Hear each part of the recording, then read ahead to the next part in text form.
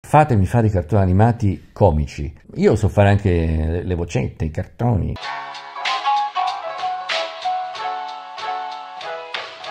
Come ho iniziato? Allora, io ho cominciato a parlare al microfono, avevo 14 anni, però erano i microfoni di una radio della mia città natale, Cosenza. Io vengo da lì. Arrivati a 18 anni, il momento del diploma, ho capito che mm, la dimensione dello speaker non era proprio quello che volevo fare. Anche perché Avevo fatto un po' di teatro amatoriale proprio durante gli anni di liceo ed ero affascinato già da molti anni dal fatto che quando guardavo un film, qualsiasi film, qualsiasi serie televisiva, mi piaceva pensare che dietro a questi attori americani, tedeschi che parlavano, ce ne fossero altri italiani che parlavano. Allora fui incuriosito dal mondo delle voci. Quando arrivai a Roma eh, decisi che volevo accostarmi al mondo dei doppiatori e così ho cominciato a frequentare gli studi grazie a una conoscenza e ho cominciato a parlare con loro, quindi per me era emozionante per esempio poter parlare in realtà con eh, la voce di Gesù di Nazareth che fu in assoluto il primo, il primo direttore che mi, mi, aiutò a cominciare a fare il lavoro ed stiamo parlando di, di Pino Colizzi. Dopodiché arrivarono anche gli altri perché agganciandomi a lui inizialmente con i turni ebbi modo di, di fare le prime collaborazioni con il gruppo 30 che era la, la società di, di Renato Izzo nell'epoca. Quindi stavano in questo villone bellissimo ai Parioli. E quando tu entravi in questa sala c'erano veramente il top del top del doppiaggio eh, voci come Rinaldi per esempio quindi che ti passava davanti per prendere il caffè lo stesso Renato eh, Rossella c'era gente veramente in gamba tu pensavi sono finito veramente, ho fatto 13 come si, come si direbbe, ho cominciato con loro. Contemporaneamente ho fatto i primi turni anche con la CDC, diciamo che eh, il primo turno di cui ho un ricordo eccezionale lo feci con Pino Locchi, con, eh, con, il quale ho seguito il doppiaggio un, proprio agli inizi, andavo a seguire i suoi turni e un giorno mi chiese di, di, fare una piccola cosina, ma proprio per farmi provare, perché io all'epoca non, non riuscivo a spiccicare veramente parola. Tra l'altro quando ti trovavi davanti questi mostri sacri del doppiaggio veramente ti tremavano le gambe, eh, erano le voci che tu avevi sentito nei film, Pinolocchi, Sean Connery, 007, Roger Moore e così altri, insomma, questi io adesso parlo di loro perché sono quelli che, con i quali io mi sono trovato più a contatto rispetto che, che con altri, poi pian piano ovviamente ho conosciuto anche gli altri. Allora, intanto c'è da dire una cosa, eh, questo fa parte delle fortune che possono capitare a qualcuno.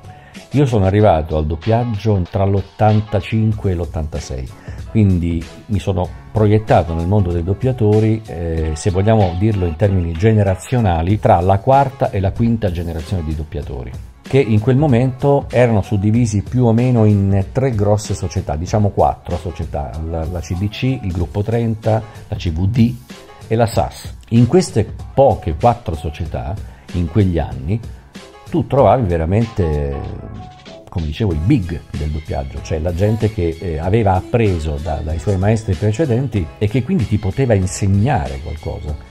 Quando tu facevi anche un semplice turno di brusio, per esempio, diretto da Peppino Rinaldi, tu imparavi perché bastava sentire la sua voce, le sue intonazioni per capire che dietro quella voce e quelle intonazioni c'era forse la più grande scuola di recitazione d'Italia che poi era quella che aveva prestato le sue voci ai più grandi film. Quindi io, eh, per dirti, a prescindere dagli inizi che tutti quanti noi no, dobbiamo affrontare, ho avuto questa grande fortuna di arrivare in quel mondo in un momento in cui c'era bisogno di nuove voci e c'erano questi maestri, maestri veri proprio del, dell'artigianato, il mondo del doppiaggio come arti, artigianalità intesa in senso di creare arte. Sono stati veramente maestri da cui apprendere. Bastava, ripeto, un turno con Colizzi, un turno con con Locchi, un turno con Rinaldi o con Renato per fare scuola. Quindi ti hanno lasciato veramente questo imprinting di opera d'arte. Io ricordo di una serie che sicuramente vi ricordate, che è stata una delle prime serie che ho fatto come comprimario, dove c'erano tantissimi personaggi, e sto parlando di Twin Peaks, I segreti di Twin Peaks,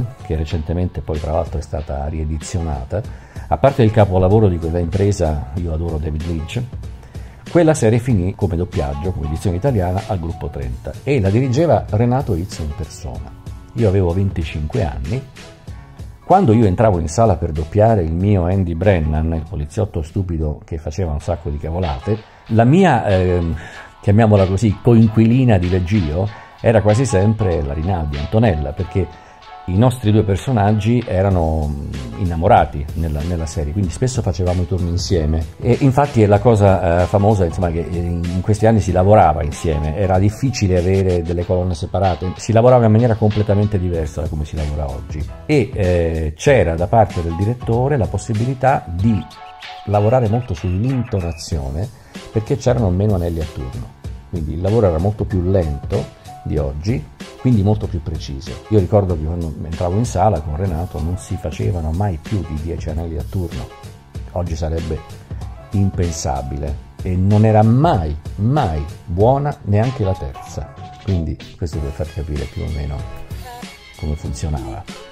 Io non vorrei adesso uh, innescare una polemica. Il grosso errore che noi abbiamo fatto da un certo momento in poi è stato permettere ai clienti di poter mettere bocca su tutto, quindi anche sull'ennesima intonazione, sulla voce, sull'uso della voce, la presenza, il mix, eccetera, eccetera. Ci sono situazioni evidenti in cui alcuni, alcune persone del non mestiere, quindi né doppiatori, né tecnici, né fonici, né assistenti, chi non è del mestiere, si è permesso di giudicare delle situazioni difficilissime. Ricordo che stavo facendo un film con Tonino, appunto, bellissimo tra l'altro, un film di Terence Malick che si chiama La sottile linea rossa, che forse qualcuno di voi ha visto. Io doppiavo un attore che spesso ho doppiato io, che facevano dei soldati. Allora, la scena più o meno era questa. Eh, durante una scena di battaglia, eh, il cliente che era in sala insieme a Tonino faceva notare a Tonino che un attore che stava per eh, morire, perché colpito a morte, eh, in, in punto di morte stava dicendo, diceva una battuta. Gli fece notare che la battuta non era chiara. Tonino giustamente andò su tutte le furie e disse mi devi spiegare una cosa, dice no, ma un proiettile viaggia a 700 km orari, se ti prende in pieno e tu stai per morire, ma come diavolo faccio io a essere chiaro? A dire questa battuta? Com'è possibile dire chiara una battuta, supponiamo che fosse sto morendo, ma com'è possibile che uno che stia per morire dice chiaramente sto morendo? Non sarà mai possibile. Ecco, il cliente pretendeva più o meno questo. Questo per dire che molto spesso sono proprio loro che si oppongono a questo a questa scuola grossa che noi abbiamo sempre avuto, alla quale stiamo sgradevolmente rinunciando, secondo me, che è quella della recitazione vera. I doppiatori sono, secondo me, lo dico senza falsa modestia, degli attori a volte più bravi degli attori di presa diretta, perché innanzitutto anche nello sport, le cosiddette spork, lo dico all'abbreviazione perché sono le nostre abbreviazioni di copione, la spork, tu la senti chiara, noi le facciamo le spork ma chiare, le facciamo sentire. Molto spesso nelle prese dirette, anche di roba italiana, mi dispiace dirlo, la sporca o non sporca è sempre sporca, non si capisce niente di quello che dicono, niente, è un sussurrare continuo. Allora, rinunciare alle nostre qualità, e io penso che questa sia veramente una grande qualità, quella che riconosco a me stesso, ai miei colleghi, di poter dare emozioni a, a, a personaggi che sono in televisione, stando praticamente fermi davanti a un leggio, piangere, ridere, fare il fiatone, far finta di correre. Quando un personaggio corre e noi gli stiamo dietro con la voce, noi non stiamo correndo, siamo fermi. Eppure tu senti una voce che corre, tu senti una voce che si muove. Ecco, ci stanno facendo rinunciare anche a questo. E questo è veramente, come dicevi tu, anche perché poi la battuta non è più asincrono se va con labiale, è asincrono se finisce giusta con l'originale questo mettere in fila le onde, no? le clip audio per vedere se combaciano, trovo un tecnicismo inutile, cioè non, mm, è come se tu ammazzassi la, il primo pensiero, l'arte vera. Ecco. Sì, diciamo no, non soltanto uno, io essendo una voce maschile chiaramente ho, ho, ho, appreso da quelli che ritengo essere stati tre grandi doppiatori, tre grandi direttori. Renato innanzitutto perché in un certo senso mi ha svezzato, proprio mi ha dato i natali, mettendomi e distribuendomi in questa, in questa serie bellissima nella quale mi trovai e di cui ancora serbo un ottimo ricordo perché tra l'altro era una persona dedita anche all'allevare queste nuove leve che entravano in sala. Poi sicuramente un altro per me grande maestro è stato proprio Pino Locchi, perché sentendolo mi piaceva proprio come recitava, come dava colore alle battute. In un certo senso ho cercato anche di rubare nella sua involontaria scuola quello che si può imparare da un grande attore, da un grande direttore. eh, Colizzi sicuramente, certamente uno dei più grandi, eh, ecco più o meno quelli con cui ho lavorato io. Negli ultimi anni, o meglio, po' dopo, quando già ero diventato una pedina un pochino più importante, sicuramente un altro che mi ha dato tanto dal punto di vista artistico e che purtroppo oggi non c'è più è, è Tonino. Io ho fatto eh, dal 92 al 2002, nove anni più o meno, ho fatto quasi sempre soltanto cinema con, con lui, con la sua società. E anche da lì ho, ho imparato una scuola un po' diversa, ma veramente Tonino è riuscito a tirare fuori da me delle cose che probabilmente neanche io sapevo di, di avere, quelle famose quando ti senti dire da un direttore hai delle corde che tu non conosci, io le conosco e te le tirerò fuori. È vero, perché ancora oggi quando viene proiettato qualche film dove io ho avuto il piacere e l'onore anche di poter partecipare, diretto da lui, mi viene sempre fatto qualche complimento e queste sono cose che ti rimangono e ti rimangono perché te le ha date lui. Trovami una persona in questo settore che non sia controverso. non ce ne sono. Ecco, non dovevi fargli girare la mosca al naso, era un personaggio particolare come ce ne sono tanti altri, perché siamo persone alla fine, quindi non me la sento di, di attaccarlo. Io so soltanto che è una persona che per qualche ritardo che faceva presentandosi al turno poi ti dava tanto sotto il profilo artistico io ho sempre cercato di filtrare le positività che questa persona mi ha dato, perché me ne ha date tante ed è indiscutibile che io quando arrivai da lui nel 92 ero una cosa, nel 2002 quando feci l'ultimo film con lui era un'altra cosa, quindi ho acquistato. E mi piace sempre riconoscere, cioè trovare nel, in chi ti dà qualcosa le positività, cercando di non soffermarmi magari sulla nevrosi in più o il ritardo dato, magari un urlo in più. Tonino era per esempio una persona molto dura uh, in, in, cattedra quando stava dietro al vetro, quindi dovevi stare sempre molto attento quando lavoravi. Quando... Non, io non me la sento di fare il castigamatti, sinceramente. Tonino sicuramente era eccentrico come persona, ma ha avuto anche moltissime qualità, aveva tante qualità da offrire, era un professionista innanzitutto. A me piace pensare che ognuno di noi in questo settore ha le sue positività, le sue negatività, il suo carattere. Chi di noi non è un po' eccentrico nel nostro lavoro? Una grande persona, secondo me, mi ha lasciato tanto, quindi non, non posso averne un ricordo negativo. Ecco, questo è quello che voglio. Io in realtà non ho, non ho ricordi negativi di nessuno. Mi sono un po' staccato da alcune persone perché mh, mi rendevo conto che erano persone che avevano come obiettivo solo quello di schiacciare un emergente chi fa questo mestiere comunque vuole emergere, ha una forma di ambizione sua, deve andare avanti. E allora eh, mi piace pensare che un direttore ti guidi, anche se ti sgrida certe volte, ma ti deve guidare. Un direttore che ti sgrida e basta, dal mio punto di vista, non ha, lascia il tempo che trova.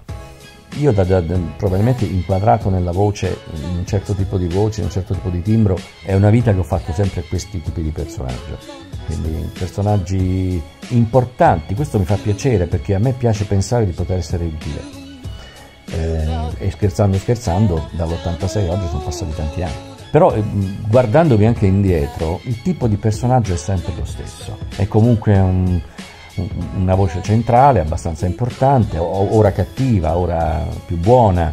Hamming certamente mi ha dato un buon ricordo, intanto perché la serie è molto bella Better Call Saul è sicuramente una delle serie più belle prodotte negli ultimi tempi, e altrimenti non sarebbe uno spin-off, che tra l'altro è lo spin-off di Breaking Bad. Il problema è sempre lo stesso. Noi facciamo questo lavoro, parlo di noi spettacolo, in questo momento non mi riferisco ai doppiatori.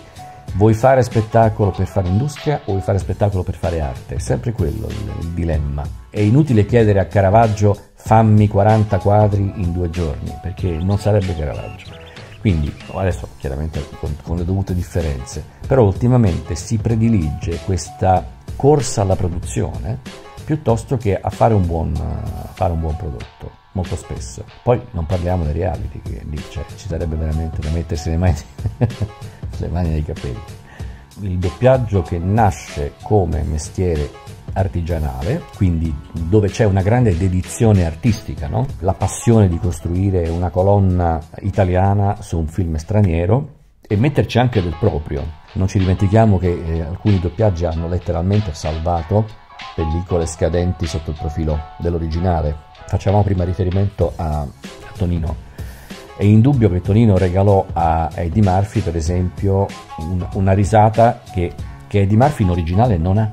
Quindi ha dato una comicità a quel personaggio maggiore ha colorato i Simpson, eccetera. Quindi sì, all'inizio era un, un, mestiere sicuramente dove c'era una grossa forma di artigianalità, c'era proprio una dedizione estrema al lavoro e soprattutto c'erano i tempi per poter scolpire questa opera d'arte quindi fare una vera e propria opera d'arte. Soprattutto in un, in un momento in cui non c'erano tutti i mezzi che ci sono oggi per lavorare, quindi dove non c'era assolutamente questa capacità tecnologica che noi abbiamo oggi, noi computer, la possibilità per esempio di incidere un, un, anello partendo dalla parola data e incastrarla. Una volta no, una volta si ricominciava da capo, ogni volta si sbagliava, perché non c'erano appunto i digitali. Oggi è diventato un mestiere forse più industriale che artigianale, perché seppur noi cerchiamo in mille modi sempre di salvare l'arte che c'è nel mestiere, purtroppo, e questo mi, mi duole dirlo però è, è una verità, da, da parte di chi ha bisogno del prodotto, i tempi di lavorazione che ci vengono concessi sono sempre minori e purtroppo è minore anche il budget che ci viene dato per poter fare eh, di un'opera bene.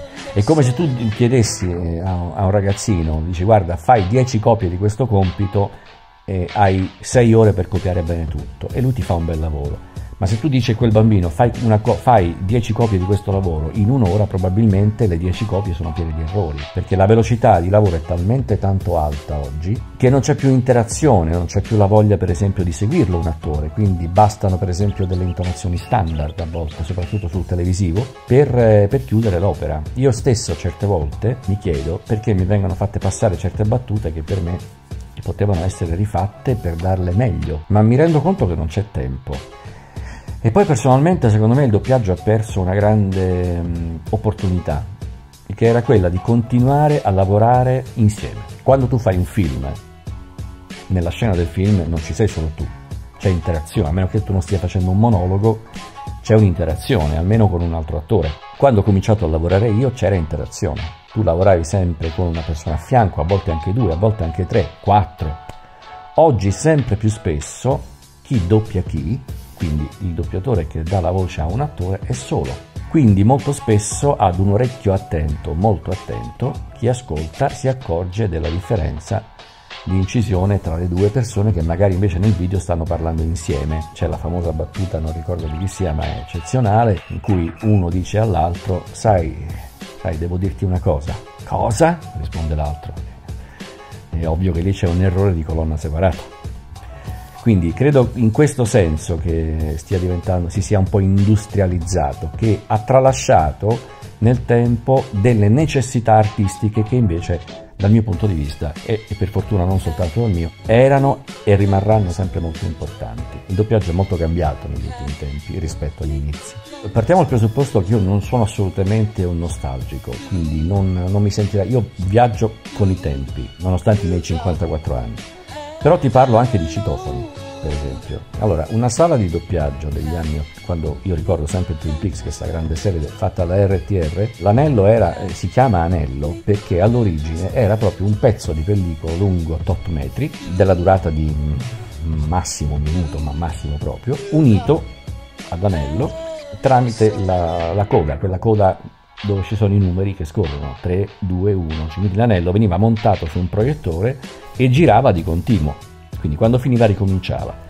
Questo perché? Perché bisognava dare modo agli attori, ai doppiatori, di poter guardare la scena senza provarla la prima volta, provandoci sopra la seconda volta, poi facendo una prova muta e poi incidendo le take che erano necessarie per, per portare avanti il prodotto. Quindi quando io ho cominciato gli anelli dovevano essere letteralmente montati e smontati dal proiettore. Quindi, finito di doppiare l'anello 52, per esempio, e data come buona la registrazione da parte del direttore, bisognava passare all'anello 53. Intercorreva un tempo tecnico necessario al proiezionista che si trovava al piano di sopra per smontare l'anello precedente e montare il successivo, quindi preparare la proiezione dell'anello dopo. E qui interviene il famoso citofono. Io ricordo eh, volentieri de- degli aneddoti in cui l'assistente citofonava proprio con un citofono vero e proprio al proiezionista che stava di sopra e dice avvertimi quando l'anello è pronto. Tra un anello e l'altro spesso c'era, non so, il caffè del direttore, una chiacchierata in più, una sigaretta, Cioè c'erano dei tempi un pochino più umani, oggi no. Oggi purtroppo noi siamo una vera e propria catena di montaggio, eh, perché con il digitale, quindi con la, la tecnologia ha portato tante belle novità, ma in questo senso ha portato la velocizzazione del lavoro, quindi l'anello non è più un anello, è un pezzettino di, di, di non so neanche come definirlo, di memoria, si salta avanti e indietro con la moviola e si arriva all'anello nuovo in un attimo. In un attimo si incide, in un attimo si passa a quello successivo. Quindi non, a volte non c'è proprio letteralmente il tempo di respirare. Questo ha dato purtroppo adito anche all'inzeppimento nel piano di lavoro dei, delle tre ore di turno più anelli. Quindi se per esempio negli anni 80 tu facevi 10, massimo 12 anelli a turno, oggi arrivi anche a farne il doppio.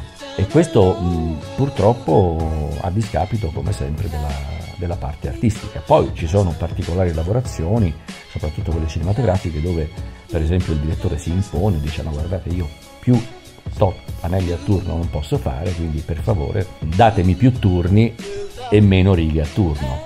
Eh, questo vale anche per gli attori. Però si tende oggi a comprimere, vista la possibilità tecnica di poterlo fare, si tende a comprimere la lavorazione cercando di fare in un turno, quindi in tre ore, quanti più anelli possibili e questo è un grande, è un grande demerito secondo me che ha acquisito il nostro mestiere. Ma ripeto, non dipende da chi vuole lavorare, dipende da chi dà il prodotto. Purtroppo il nostro mestiere è finito nelle mani dell'industria, ci sono delle major, oggi chiamiamole così, che offrono eh, produzioni su produzioni su produzioni che devono essere mh, finite in un tempo tecnico Tecnico significa che per esigenze aziendali bisogna chiudere il prodotto in quel momento lì. Questo a discapito dell'arte, poi è sempre a discapito dell'arte. Io ricordo negli anni 90, molto spesso quando arrivava la telefonata in segreteria, perché non c'erano ancora i cellulari, e quando ti arrivavano i messaggi in segreteria telefonica, ti venivano dati dei turni da qui anche a quattro mesi.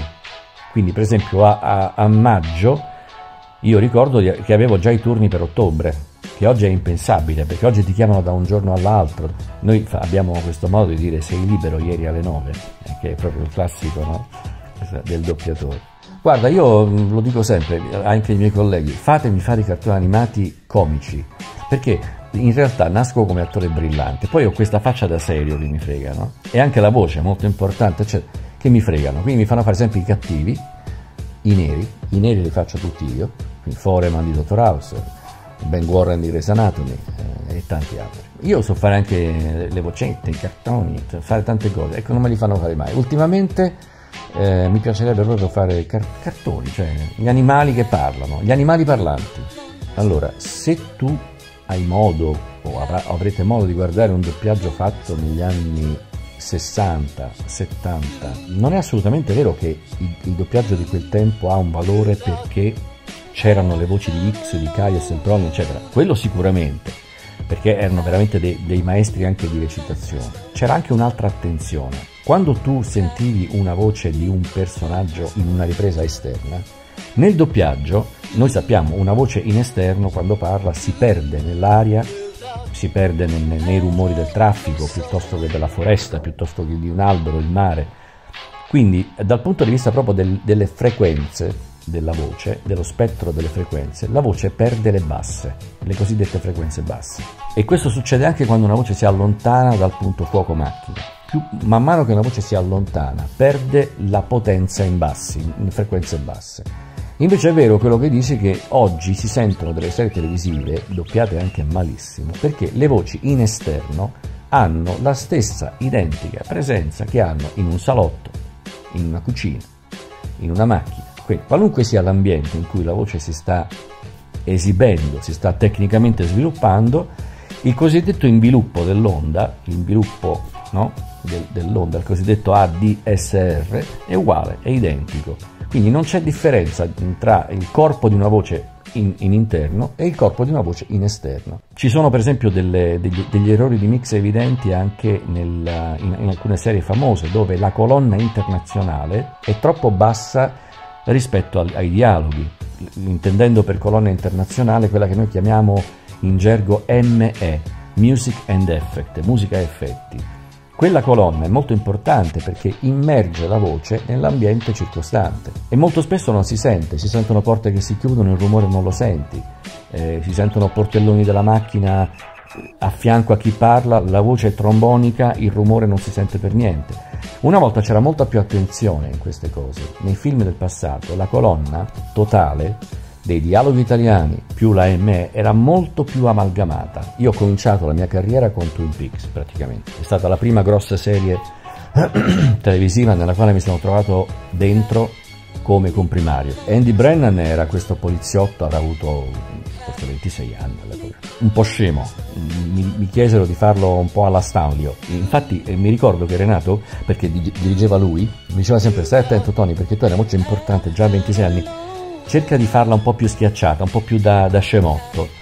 E io ho imparato lì probabilmente a caratterizzare molto di più le cose. Mi chiesero, guarda, tu hai doppiato nel 90 e nel 91 la serie di Twin Peaks. Ho detto sì, guarda che il tuo personaggio torna nella, nella nuova serie di Twin Peaks. Detto no, stai scherzando.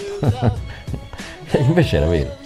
Invece era vero. Quindi dopo tanti anni io ho ritrovato lo stesso attore con i capelli bianchi, io con i capelli bianchi, ci siamo rincontrati, ci siamo stretti la mano e ci siamo fatti gli altri turni insieme. È stato molto emozionante perché dentro di me pensavo, porca miseria, io ho cominciato con lui e sono, adesso non ho detto che ho finito, però sto andando, me lo ritrovo dopo tanti anni un'altra volta sulla mia strada e non è una cosa che è successa a tutti, questo è stato, per me è stato piacevolissimo, è stata una cosa molto bella. Il cambiamento fa parte della vita, quindi non possiamo sempre stare a dire che tutto ciò che è, è vecchio è meraviglioso e tutto quello che è nuovo fa schifo, no.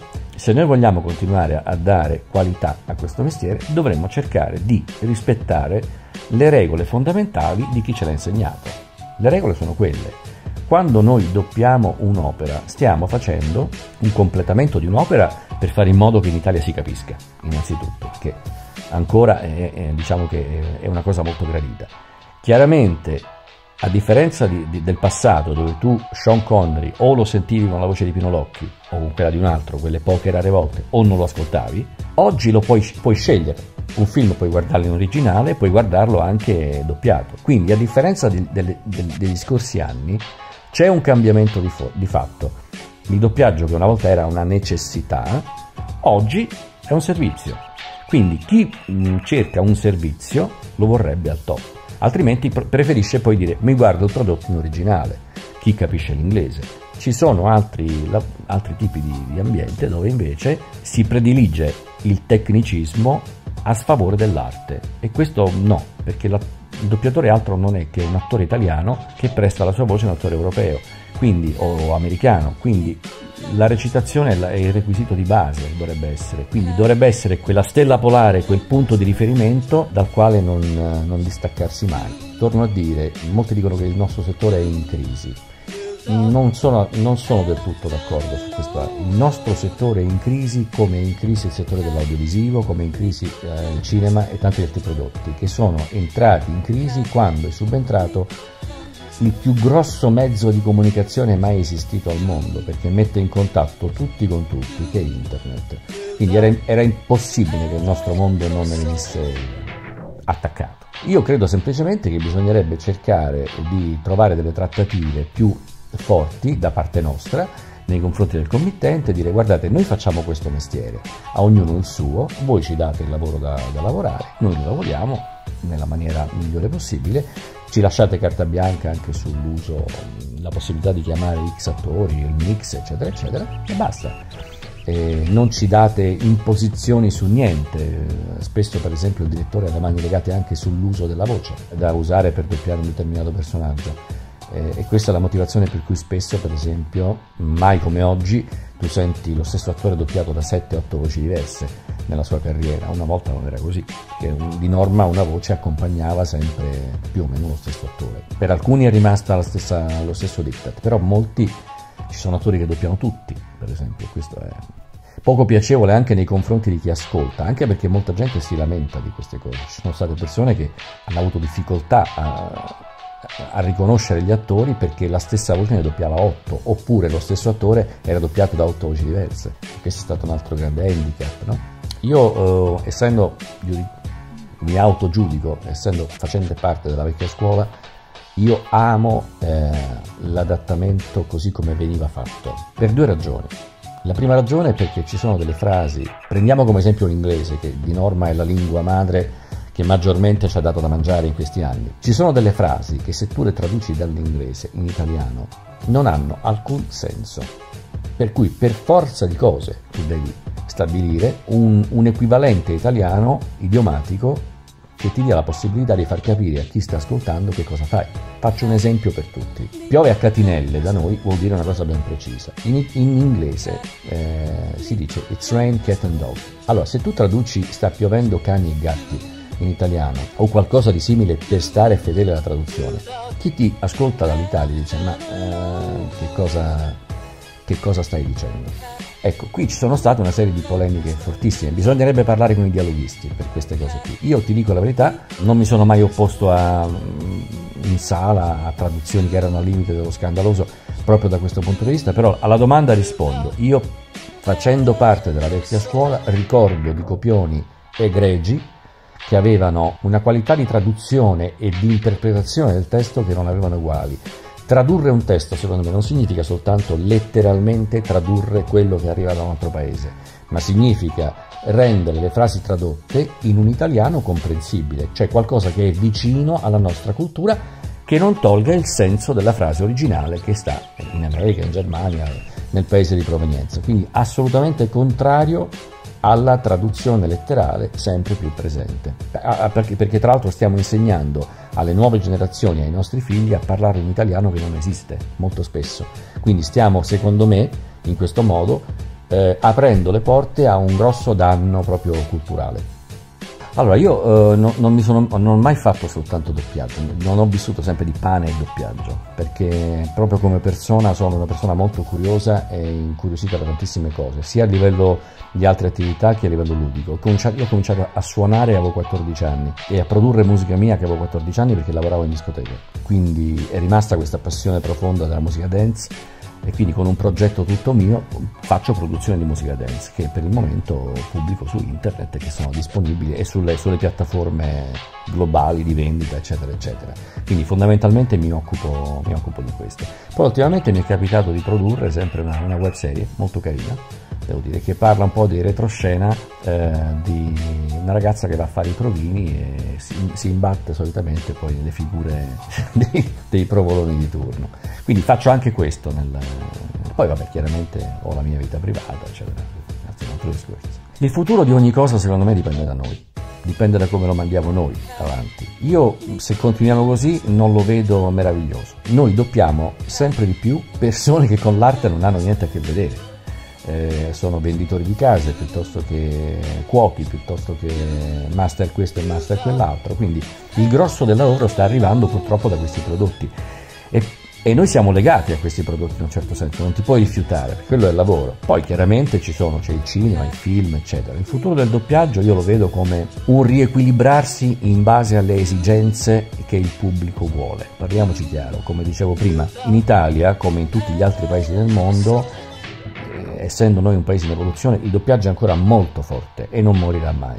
Però sicuramente dovremo fare i conti, soprattutto per quanto riguarda alcuni prodotti, di una grande fetta di, di italiani, soprattutto i giovanissimi, che impareranno prima o poi a guardare le cose in originale, quindi probabilmente qualcuno comincerà a preferire il suono originale, eh, che, che, per quanto un doppiaggio possa essere fatto bene è praticamente inimitabile. Quindi un doppiaggio per quanto possa essere fatto ad altissimi livelli non sarà mai come l'originale e lì sta tutto al, al, gusto delle persone. Ci sono persone che magari vorranno vedere l'originale guarderanno quello. Quindi credo che il futuro del doppiaggio sia un entrare in contatto con questa realtà e rendersi conto che se una volta ripeto un film tu lo guardavi solo in italiano, oggi c'è gente che preferisce guardarlo in un altro modo. E quindi sarà un buon equilibrio tra queste due cose. Allora, il doppiaggio è stato, al di là di tutto, un fenomeno che è nato, come sappiamo bene, eh, con la nascita del cinema sonoro. Molti dicono che era legato al neorealismo, molti altri dicono che era legato a un bruttissimo periodo storico nostro,